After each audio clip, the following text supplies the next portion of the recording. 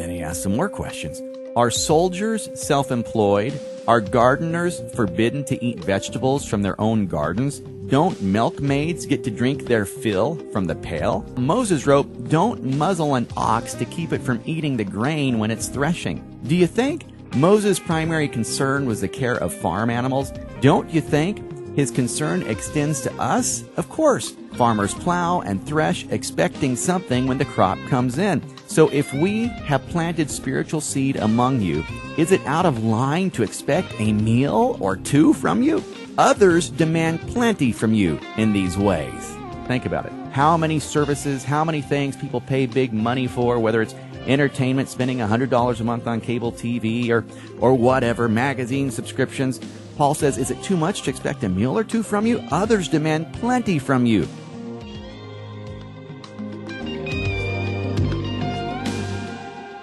All right, here we are today, continuing our journey through Paul's letter to the Galatians. I think we've had, what, 19 or 20 studies in this book so far. And today we come to Galatians chapter 6, verse 6. Here's how it's worded in Young's literal translation. Paul says, And let him who is instructed in the word share with him who is instructing in all good things. Let's check out another translation or two. Here's the Amplified Bible. Let him who receives instruction in the Word of God share all good things with his teacher, contributing to his support. The Concordant Literal New Testament says this Now let him who is being instructed in the Word be contributing to him who is instructing in all good things. Paul's letting us know that if we have been blessed through the teaching and instruction of someone, and we're growing in our understanding of the word as a result of their efforts, it's our responsibility to make sure that their needs are taken care of. Why? Well, because of this. Studying and preparing to teach in whatever format it may be is very, very time consuming. Imagine having to prepare for finals every week, or having to write a research paper every week, or preparing to give multiple speeches every week. It takes a lot of time. A 15 minute speech is not prepared in 15 minutes. I guarantee you, if you've ever had to address a group of people and you've been allotted 15 minutes or 30 minutes, you know that hours and hours go into preparing what you're going to say.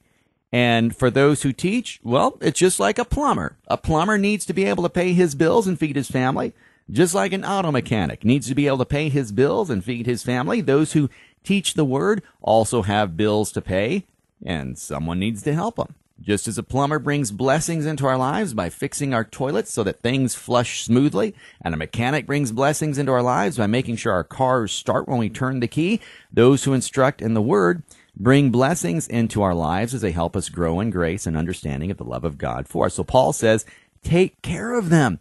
Help them to be able to continue doing what they are doing.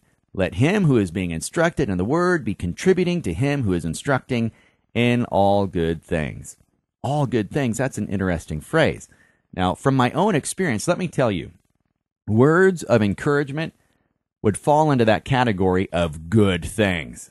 Encouraging words are wonderful. Encouraging words help keep me motivated and excited. A positive comment here and there reminds me that what I am doing matters to someone and that it's making a difference in the life of a person.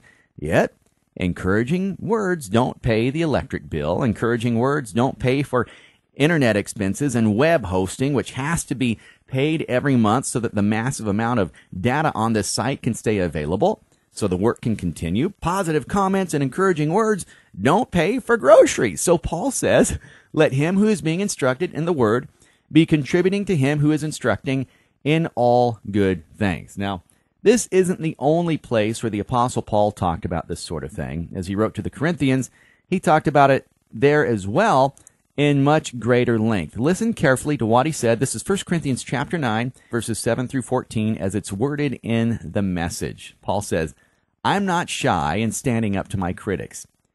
We who are on missionary assignments for God have a right to decent accommodations, and we have a right to support for us and our families.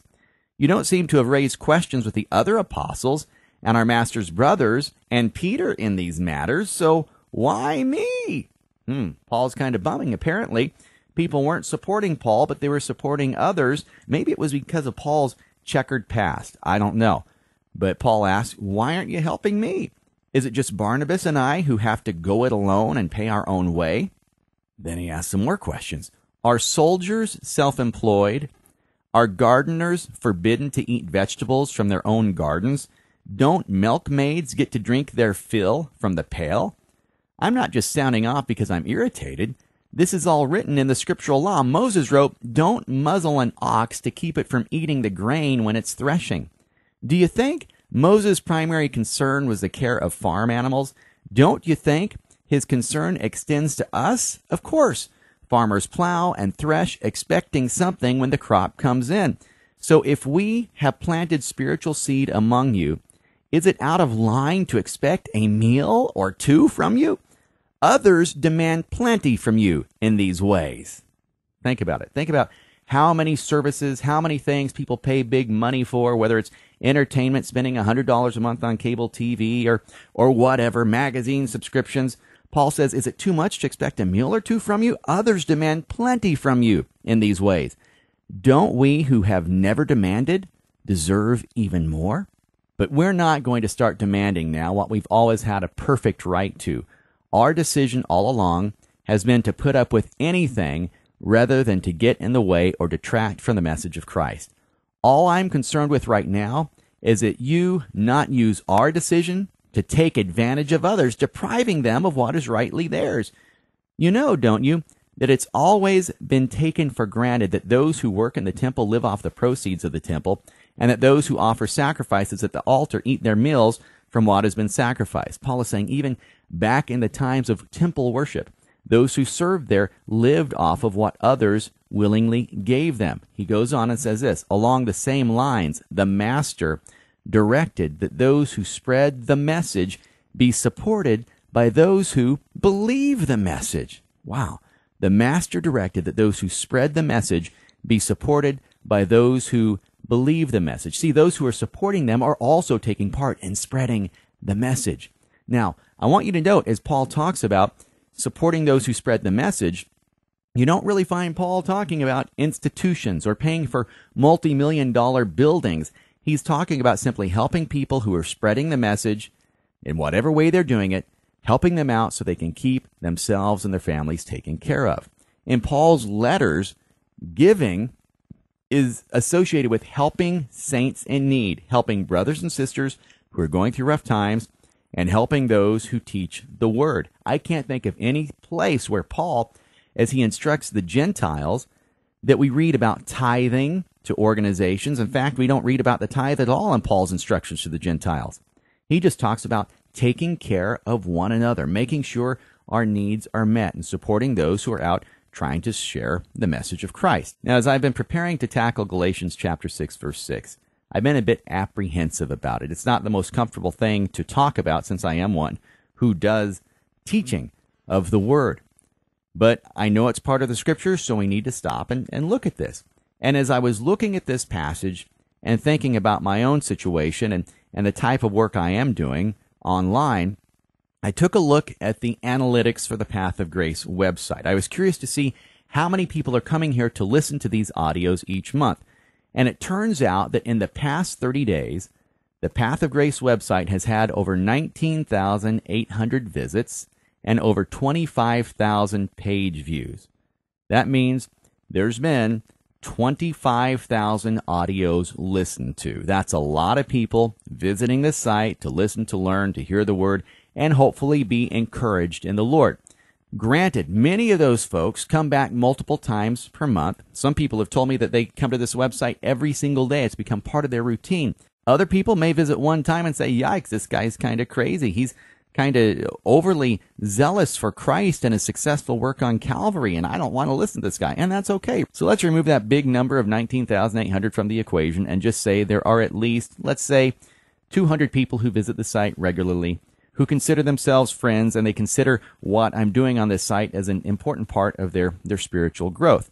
Well, in the past 30 days, which by the way, the past 30 days have been the biggest month ever for donations, there have actually been right at 20 people who have helped out to put food on the table. And let me tell you, I am so incredibly thankful for those people. I don't know what I'd be doing without you. Like Paul, who repaired tents uh, at times to keep from starving to death due to lack of support. I also do some tent making, not literally tent making. I do whatever I can to earn extra money to make sure food is on the table, which living in a very rural area, it's hard to find work. So on weekends, whenever I can get the work, I make trips into neighboring towns to play guitar in restaurants and bars, wherever they'll have me, and sometimes I'm just playing for tips. And in order to make it to get by, my family currently lives with three generations in an old double wide mobile home, pulling our resources together, doing whatever we need to do just to stay afloat as I pour into this because we believe this audio ministry is something I am supposed to be doing. There is no 401k. We have no health insurance. Um, it's simply living day by day, trusting that Father will provide in whatever way He sees fit. And you know what? He does. By His grace, we haven't missed a meal. We've missed other things, but we've always had food, and I'm super happy about that. God is faithful. He is always faithful, even when we aren't. aren't you glad about that? Anyway, there you have it. Galatians chapter 6, verse 6, my situation. Now let him who is being instructed in the word be contributing to him who is instructing in all things. My name is James Flanders. Thank you so much for listening, and thank you from the bottom of my heart for your love, prayers, encouragement, and yes, your financial support so I can continue to do this. Be blessed, my friend. Be blessed.